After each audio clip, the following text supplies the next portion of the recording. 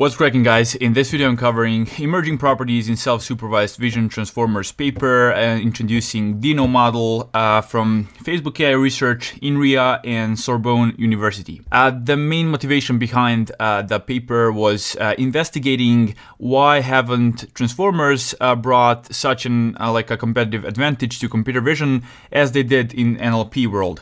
And the main hypothesis is that using supervised learning as we have so far with vision transformers have been kind of damping um, damping down their performance, and so they they uh, they propose to use self-supervised learning, which is uh, which provides us with a richer uh, training signal.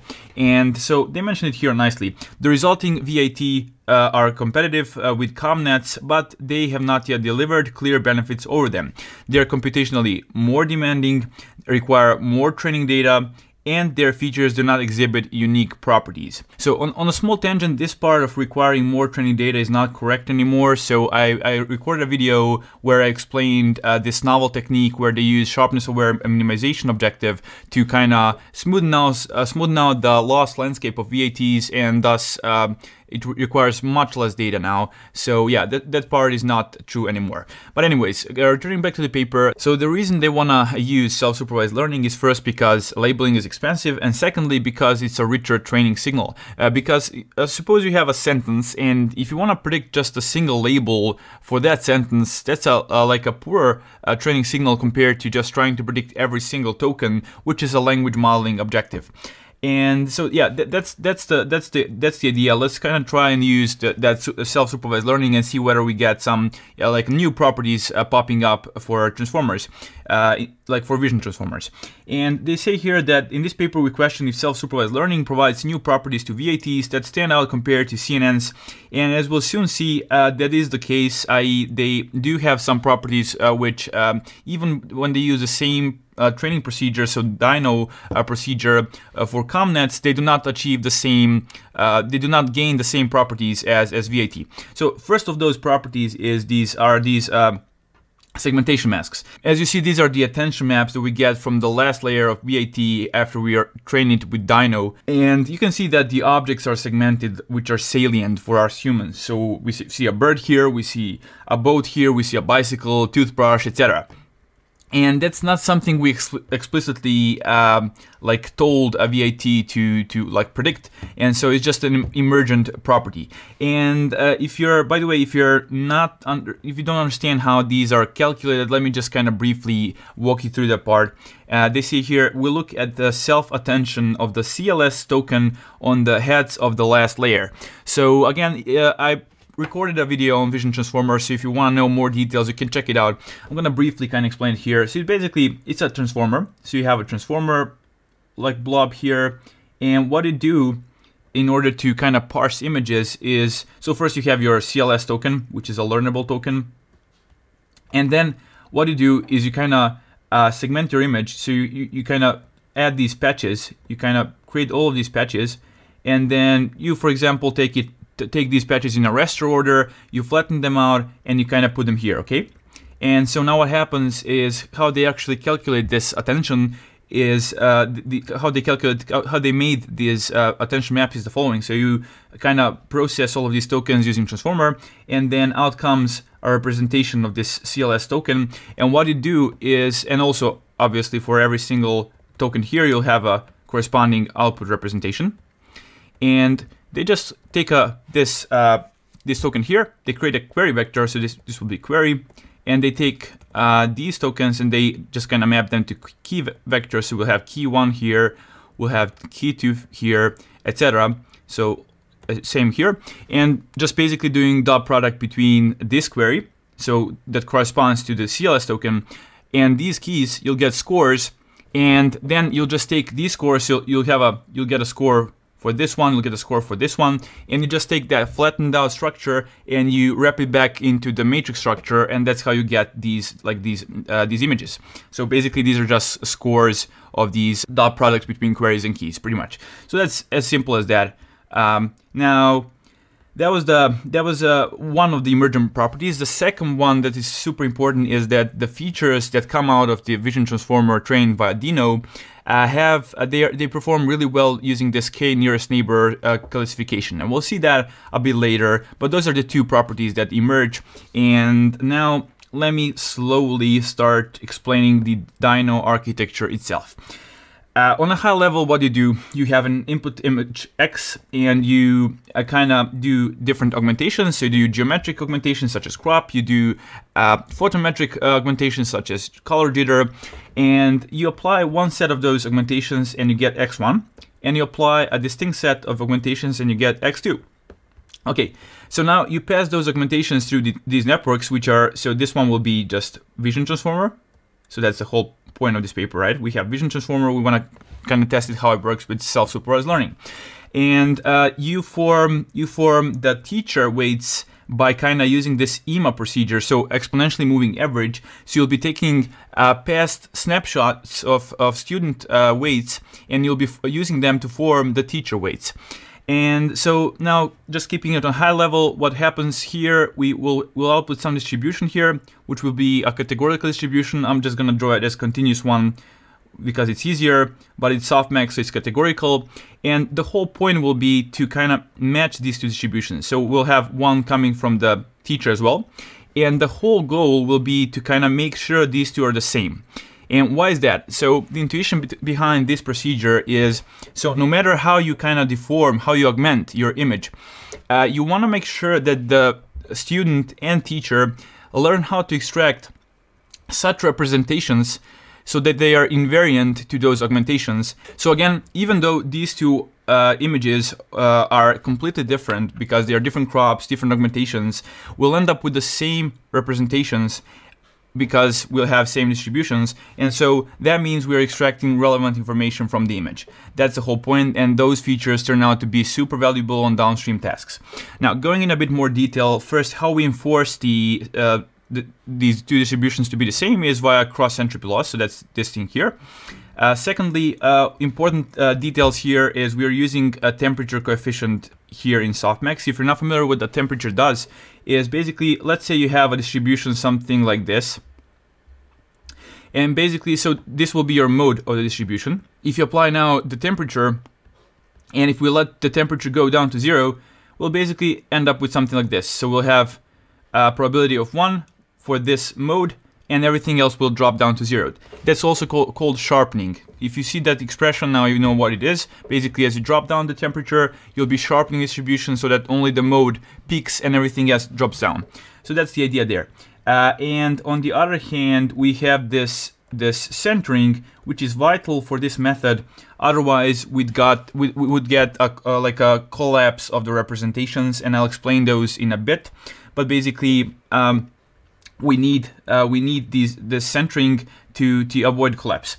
And um, so briefly, like what collapse is is um, the the easiest thing the easiest thing this this this network could do this system could do in order to make sure that the uh, the output distributions are the same is to just kind of output the uniform distribution for every single input. So they'll just kind of learn to output something like this. So this is your distribution and they'll just learn how to output the uniform one and this one will also learn how to uh, output the uniform one and then trivially the loss goes to zero but that's obviously not what we want because that's that's a collapse. A second type of collapse would be uh, if you instead have just uh, like a peak on a specific uh, position on specific specific dimension so here for example you having a peak and on the same position from the teacher network as well so these are two types of collapses that happen and in order to avoid them, what they do is they apply this centering.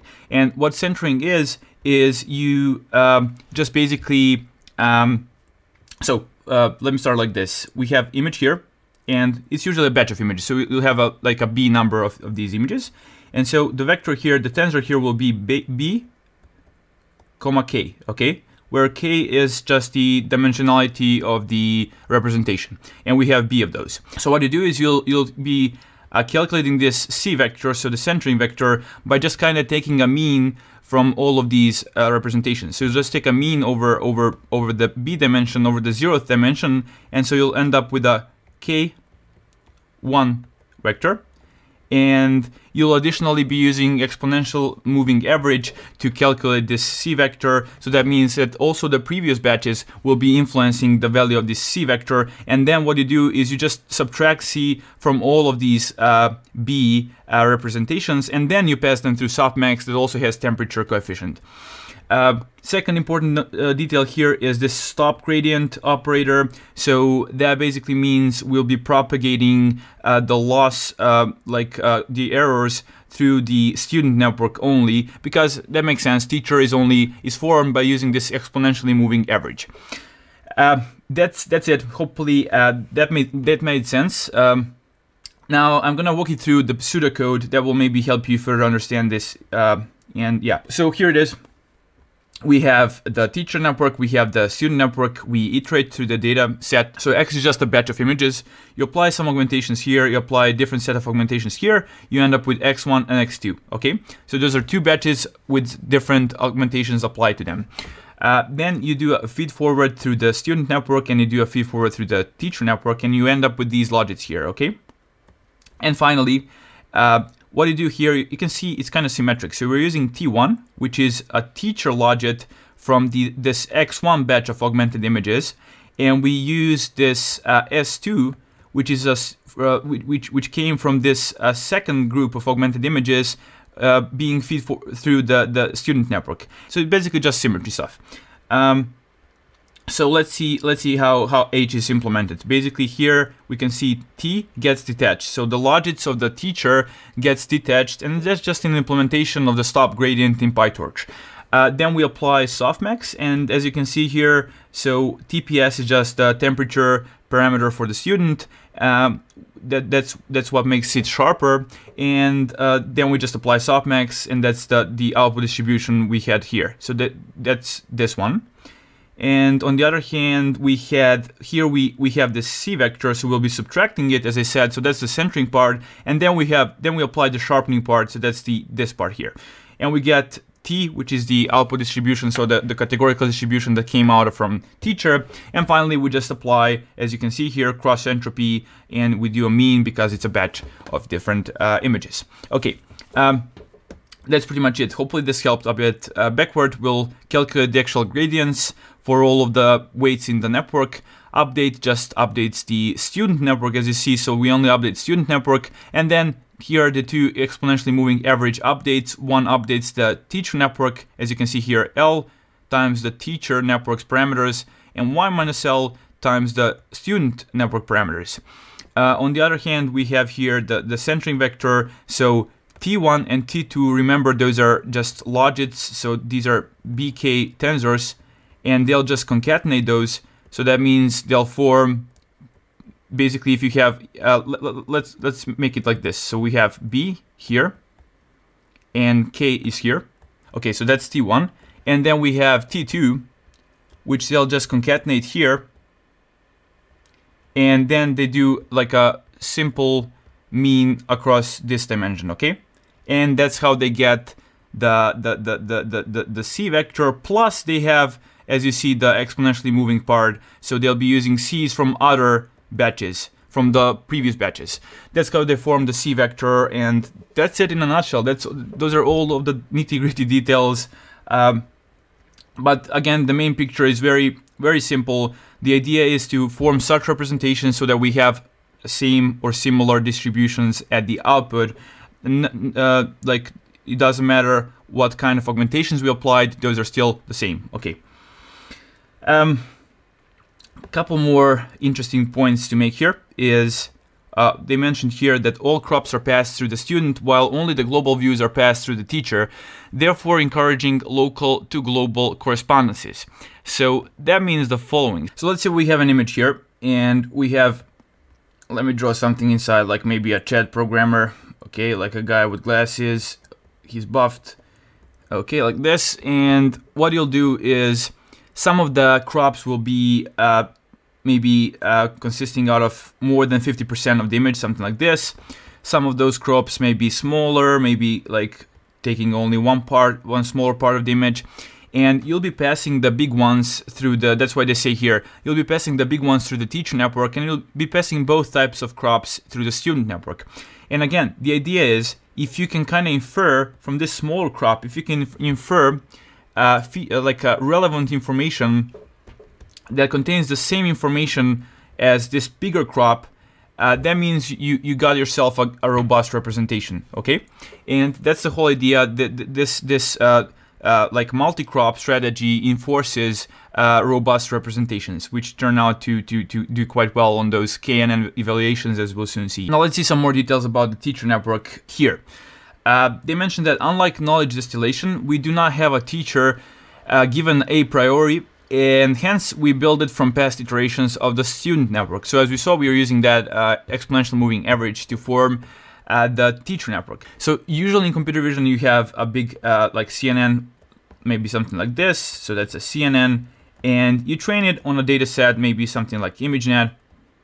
And the whole idea is now ha having trained that one, you freeze the weights, and then you have a smaller CNN, something like this. And so what you do is the following. So you take an image from that data set, you feed it both here into the big one, as well as to your smaller, yet to be trained CNN.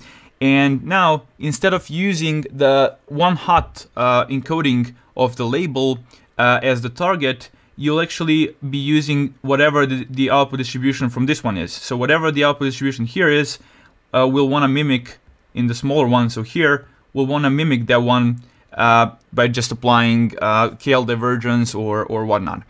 Uh, so that's the usual knowledge distillation, and here we are not using exactly that because, as you as you saw, the teacher network is not frozen. We're just updating it uh, exponentially as the time goes by. Okay, that's that's the first detail.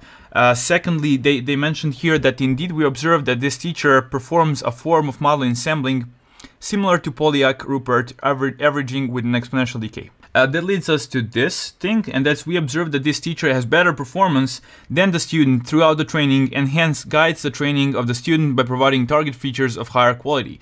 Uh, so yeah, I mean, just doing ensembling is a is a is a known method where whereby you can improve the the performance of your model by just taking a bunch of models and then averaging uh, their outputs. But here we are doing the averaging in the in the parameter space, and that also uh, helps obviously uh, increase the performance. We'll see some curves later on where they quantitatively show that this does happen indeed, so that the teacher is always better than the student, and so student is can can actually learn something from the teacher because if yeah, yeah, I guess that makes sense.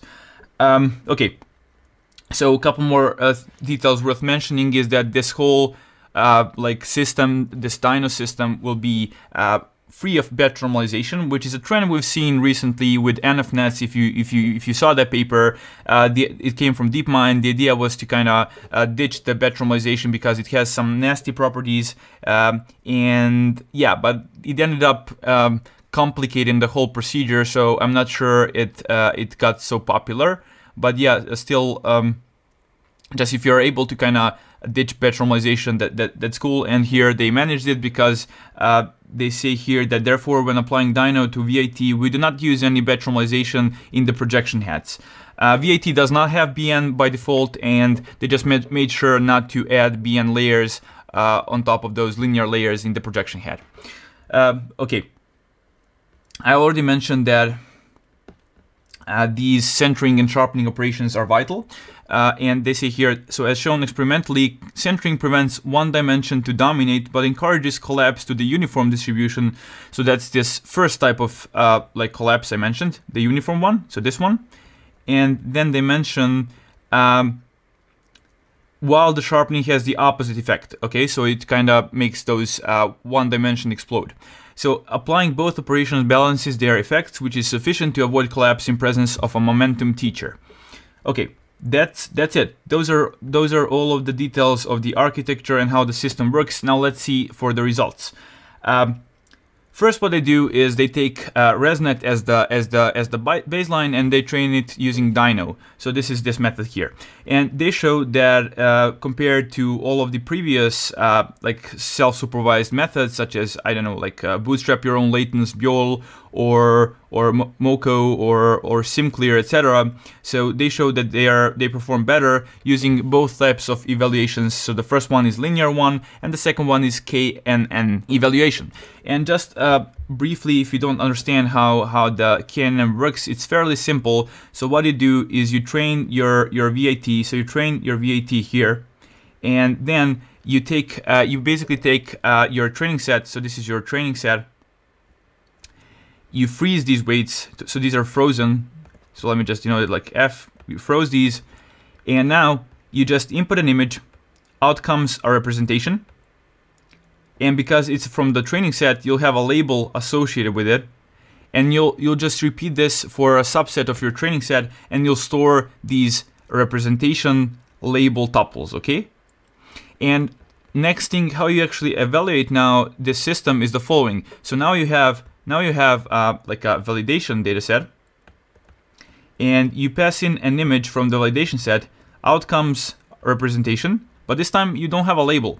So what you do instead is you search through these representations which you've collected from your training set, and you just find the k nearest ones. And they were using like 20 uh, experimentally they found that number works well. So you'll just find 20 closest representations and you'll see what their labels are. And by majority voting, for example, you'll just figure out what the represent what the label should be for this one. Okay, that's the that's the whole idea. So you just find the closest ones where closeness is defined by I, I guess they used uh, L2 metric, and so yeah, that, that's it. That's how you find a label for for this one. You just find the closest ones. Okay, and now the interesting part actually here is that uh, once you have VIT, you can see that the KNN performance is like the gap between these two is severely like uh, decreased. Whereas here we had a bigger gap. Th that's the, the important thing to notice is that using transformers and SSL has something that's that's um, qualitatively different comparing to using CNNs.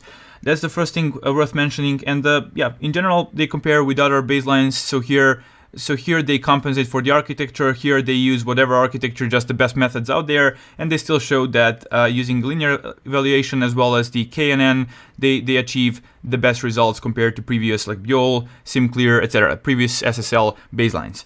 Uh, those are the initial results. Now let's see some other stuff here. Uh, so these two results just support their claim that the features are um, really of high quality and uh, since they perform really well for k nearest neighbor classification they also should perform well for image retrieval and copy detection and they just kind of uh, yeah show that uh, that's the case uh, interesting thing here is that uh, cool thing about SSL methods is you can use them on whatever data set you have. You don't have to have labels. And so they just pre-train uh, Dino on this Google Landmarks uh, data set uh, which turns out to, to boost performance severely compared to just pre-training Dino on, on ImageNet. And yeah, they get results which are comparable to even a supervised baseline, and that's cool. Okay, let's continue here. Uh, that was the that was the first part. So th those were the the the, the that, that was the emergent property of nice K uh, of features that are good for KNN. Focusing on these results here, we can see that um, different colors just you know different heads of the transformer heads attention heads from the ViT uh, final layer. And we can see that the red head focuses on horses on this zebra's head. We can see that the yellow head is focusing on on on the neck as well as on the ears and the blue head is focusing on on these bonds here okay? And um, what's interesting is they show here that um, even some some occluded objects such as these bushes here are detected and segmented uh, I mean, it's hard even for me to kind of detect these, and the network learns how to recognize the bush and segment that information. Okay, that's super cool.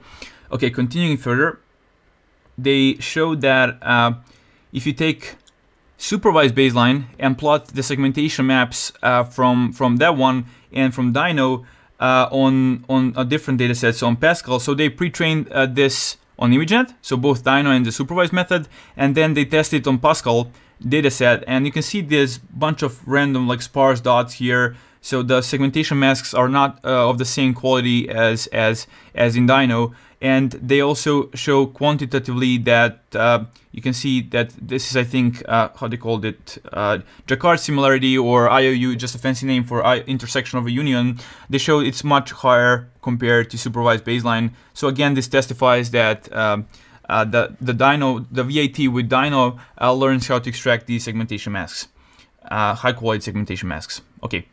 Uh, in this table, they show a general applicability of these features to various downstream benchmarks such as CIFAR 10, CIFAR 100, etc. So just comparing uh, Dino with the supervised baseline, we can see uh, it pretty much achieves outperforms supervised baseline on all of these downstream tasks, which further testifies that the features learned using Dino and ViT are of super high quality. Uh, some ablations here. Uh, maybe the most important row I want you to focus on is when we uh, expel, when we don't use the momentum encoder, so that's the teacher network being formed from exponential, like uh, by the exponential moving average strategy, we can see that it completely fails to train. So the performance just drops down to almost zero and it does not work. So we need, we so this method, so Dino needs momentum encoder and yeah. Um, other ablations like uh, multi-crop, not using multi-crop reduces reduces the performance, not using cross entropy reduces performance, etc. In this uh, plot, they show that not that using smaller patches is more important than using a bigger model. So if you focus on on this thing here, so if you focus on on the 8x8 uh, patches uh, and the ViT small, uh, as you can see, it has better performance than using um, ViT big. So the bigger model but with 16 by 16 patches. So the trade-off here obviously exists, and uh, it's the following. Basically, when you're using 8 by 8, you need uh, you need a bigger memory footprint, and so uh, you also kind of uh, reduce the throughput of number of images you can feed through the model in a second. Um, but yeah, you get some additional performance. But all in all, you can see these two curves overlap. So basically, it, it boils down to how much performance you want and what's the throughput, your desired throughput, and that's how you can pick the best uh, trade-off between the size of the model and the patch size. Okay, nice. Um, here is the quantitative results I mentioned that the student is always, so that the teacher is always better than student. You can see as the epochs progress during the training, the validation accuracy of the teacher is always higher compared to the student. Um, and they just kind of tried different strategies of how they update the teacher and it turns out that using momentum is the best strategy uh, using previous epoch so that's something similar to dqn if you watch my video on dqn or, or you know what dqn is uh, it also uses um, it also freezes the target network and updates it every couple of uh, epochs or whatever every every n steps in general and so uh, that method also works, but it yields somewhat uh, worse performance. And using uh, updating the teacher too often, so that would be previous iteration or student copy, uh, you can see that the method just fails uh, all completely. So yeah, um, there are other ways to kind of um, build up this teacher network, but the best thing seems to be so far this momentum update. Uh, these results are pretty interesting. Let me just kind of explain them. Again, there are two forms of collapse. Regardless of the input, the model output is uniform along all dimensions or dominated by one dimension. If we uh, take the cross entropy we saw in the loss, uh, so we take the cross entropy loss and kind of split it down into the entropy component and the KL divergence component uh, and plot it here, they show the following. So if you're using sharpening only and you just ignore, you, you kind of ditch the centering part in the teacher network, this is what happens. Basically the entropy drops down to zero, which means what? Which means that the network learns to output uh, like uh, something like this. You basically have a peak at one dimension and the probability is one and everything else is zero and so the entropy of this thing is zero. So that means that uh, using only sharpening leads to this mode of collapse and using only centering also collapses but as you can see the collapse has a non-zero value. So the the, the, the, the, the entropy has non-zero value which means we have something like this which means we have a uniform distribution. And uh, this has a non-zero entropy. And so that's what we end up with here. And it did mention it somewhere here. Let me just check. Uh, the entropy converges to different values. So 0 with no centering and minus log 1 of over k with no sharpening. Uh, so that's that's the value that we'll have here. So here, this value will be minus log of 1 over k. The reason being is the support has k values. So this distribution support is has k dimensions. So that means this will be 1 over k, so that the integral amounts to 1. And this means if you just calculate the entropy, you'll end up with with uh, this this value here. Um, so yeah, uh, using both, as you can see here, the entropy converges to some value, but it's neither zero, neither this value of minus log 1 over k. And that's it. That's pretty much it. Uh, taking a look at the KL divergence, uh, the KL becomes zero for these two cases um, because both the student and the teacher learn to output either uniform or this kind of distribution. And when you're using both, then KL divergence does not collapse to zero. Those are just two different perspectives on the same thing. Uh, and that's the fact that they collapse to either of these modes depending on what uh, what do we omit, either sharp, sharpening or centering. Um, okay, that's that's pretty much it. Um, I think I explained everything I wanted. Finally, they mention it here. In the future, we plan to explore if pre-training a large ViT model with Dino on random uncurated images could push the limits of visual features. And uh, I can just imagine uh, something along the GPT-3 dimensions being uh, trained, uh, and this time with vision transformers. So that will be exciting, I guess. Uh, final thing I want to show you are the features that uh, like the some semantics of the features of, of ViT uh, trained with Dino.